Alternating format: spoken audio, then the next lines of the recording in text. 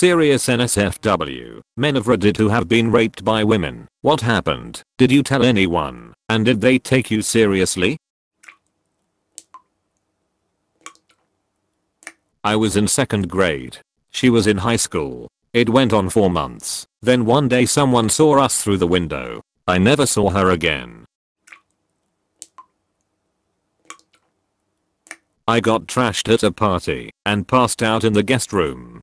I woke up to some random girl on top of me. I shoved her off and rolled back over to pass out. She started screaming and tried to keep going. I fully woke up and realized my pants were off and she'd actually been going at me for a minute.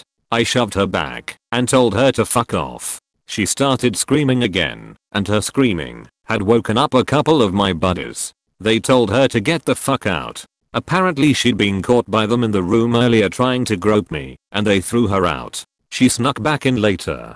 I was lucky, because most guys get laughed at. I had two friends that saw what happened firsthand. I stopped drinking for a long time and stayed away from women for a while as well. She got me drunk. She may have been underage. She raped me, then blackmailed me for more sex. I was afraid for the consequences about it, so did not tell anyone for many years. Those I did tell, believed me. She ended up accusing me of raping her, even though I woke up to her on top of me going for it. We were good friends, and it ended up with me removing myself from the friends circle. Told a few people, but no one's believed me except for my wife, While I was around 6 or 7 and 3 of my older cousins, between 10 to 12, took turns with me. It was a backwoods place and I certainly don't blame them, because I understand they probably learned it from playing house with someone else. The only thing that came of it was that being thrown into the deep end of the sex pool at such a young age made it very difficult for me to ever make the first move with people. I basically need expressive consent before even the smallest move. The people I've dated throughout the years have all been those that came out and said, I would like you to kiss me. I didn't even know it was a bad thing until I was much much older so nothing ever came of it. I've tried bringing it up a few times, but the blockhead guys were just like, wow, a foursome high five. No not high five. I'm not a man, but this happened to a friend of mine. He was taken advantage of while drunk he could barely even walk, and the girl was stone cold sober. She knew how much she had been drinking, and she had liked him for a bit, so this was the night she decided to make her move. The next morning, his reaction was pretty much holy fuck, what did I do? He turned to me for advice, and I told him that it was rape. He was too drunk to consent, and she didn't have a single drink. He was in complete denial and he blamed himself for the whole situation. He said I shouldn't have drank that much, and that it's not as serious as it sounds. But it affected him a lot. It made him super uncomfortable and that's not a regret that he should have. She was the one at fault. The girl ended up bragging to other people about how she seduced him, and people flipped their shit. Even though he only told a few of us, word got around because of her. People reacted way differently than we assumed they would. They didn't blame him or justify her actions at all. Her reputation was ruined, not his. No one treated it like a joke. Everyone stood up for my friend at a time when he couldn't stand up for himself. I wish legal action was taken against her, especially because she's repeating a similar pattern with other men that I know, but I'm glad that people reacted the way they did. It's a reflection of how society is beginning to acknowledge and stand up for male victims of abuse. I just wish everyone had this support. When I was in high school, I made the varsity soccer team as an underclassman. This was very rare at my huge, sports-focused school, and my new teammates gave me a hard time. I guess you could call it hazing, but it wasn't violent or anything too bad. They brought me to a big party one night with more upperclassmen. They continued to give me a hard time and pressured me to drink.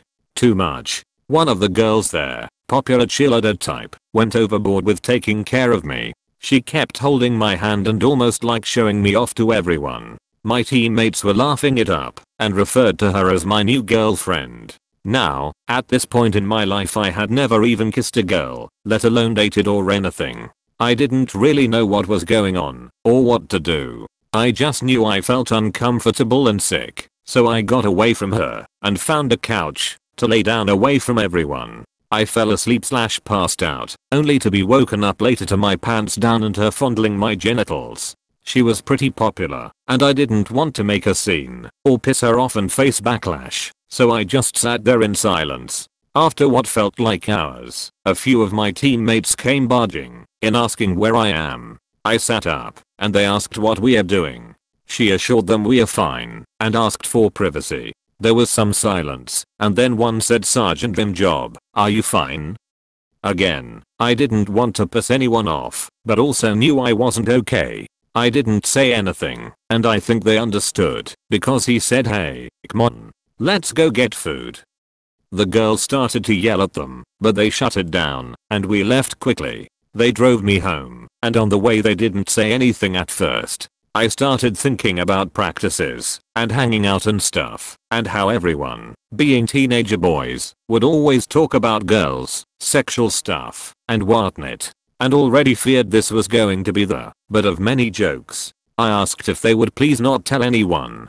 They suddenly got very sincere. First time I ever saw them like this, and agreed. They lectured me about sticking up for myself. And went on to tell me that all the hazing isn't coming from a bad place that they went through it too, that they only do it because they know I'm talented, that it builds strength, etc. But they also said at the end of the day they always have my back on and off the field. It was never brought up again. That girl would show up around us slash our group every now and then, but my teammates would always deflect her away from any direct contact with me.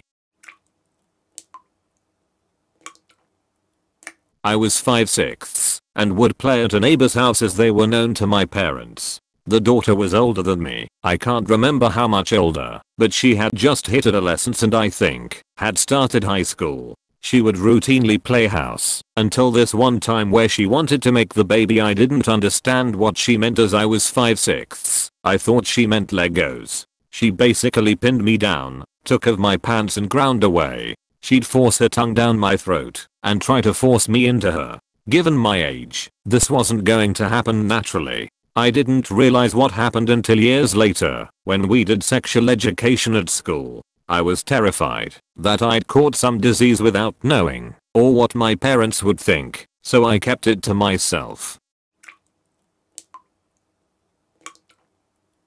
We were at a work party, I was in college, and she was a career waitress. I had recently gotten out of a long-term relationship that just fucking destroyed me. I wanted nothing. No sex. No hookups. No cuddling in bed. I just wanted to be alone. I picked up the job at the restaurant to keep myself busy and make some extra money. I needed my time occupied, and this was the best way at the time. She had came on to me at work, but I kindly turned her down, telling her that I was not ready for any kind of relationship. She flirted often, but I didn't reciprocate. I literally had zero interest in anyone. I had two drinks at the party, and then one at a cowhawker's house after work shut their party down. I blacked out, not at all like me, woke up around sunrise half naked with her snuggled up to me. We had definitely had sex, no fucking condom in sight. I was confused, very very confused. Not happy, not even a little bit.